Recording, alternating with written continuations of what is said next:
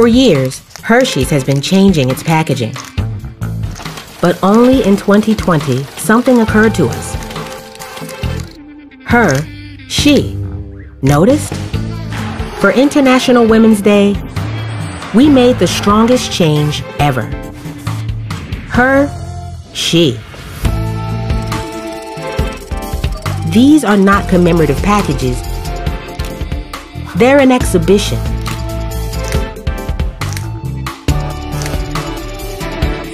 We turned real packaging into a canvas and invited artists to showcase their work. Each woman created something from scratch, specifically for her and she wrappers. In a few days, limited edition was sold out at supermarkets.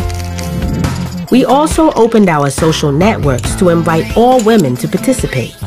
The response was huge illustrators, writers, singers, dancers, and many more shared their work to be featured in the Hershey Gallery.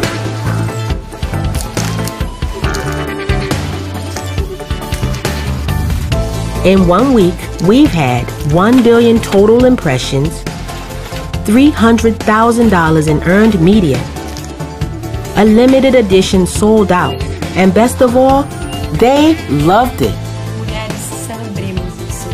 her, she, showcasing female talent one bar at a time.